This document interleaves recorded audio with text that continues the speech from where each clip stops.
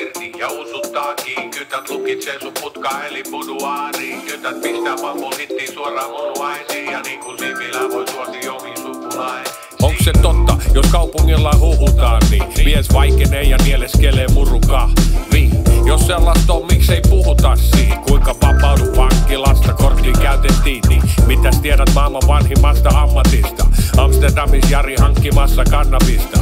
Mitä tuli suurteoistasi valtavista? Ja huumesodan sankarista. Nuori Edi pääsi esimiesten suosioon. Viime puoli alkoi houkuttelee luopio. Tuot kolme, tuot seitsemän ja puoli kiloa. Pian tuhat nyt on odottamassa tuomio. Syytä ittees, älä syytä meitä. Verta, hikeä ja kyybeleitä. Tällentää demoneet ja enkeleitä. Verta, hikeä ja kyybeleitä. Hei Jari, kehä myyhe heitä. Verta, hikeä ja kyybeleitä. Ei oo ketään kuivaa kyyneleitä. Verta, hikeä ja kyybeleitä. Vauhtisokeus iski homma lähti nousu kiito. Fyrkkaa piti laittaa välillä kukkapenkkiin piiloon. Joutu koko ajan miettii uutta siirtoa, sit Saara tuli kehi ja nyt iso luuta siivo. Tai ehkä ei sittenkään, entäs esimiehet? Kuka ottaa vastuun nyt kun armio on liemes? Jos sisäministeriöönkin heitettäisi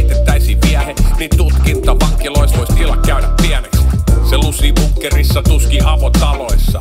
Nyt on Jari niin kuin peura ajo valoissa. Kysymys on kuitenkin taas ollut talon tavoista, eli ongelma on syvemmällä isommissa kaloissa.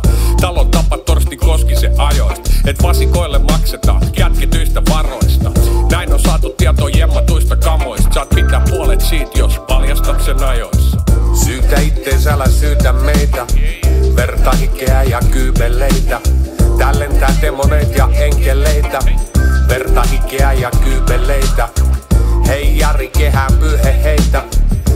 Verta, hikeä ja kyybeleitä. Ei oo ketään kuivaas kyyneleitä. Verta, hikeä ja kyybeleitä.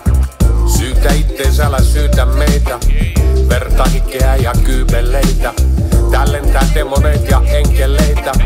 Verta, hikeä ja kyybeleitä. Hei Jari, kehää pyyhe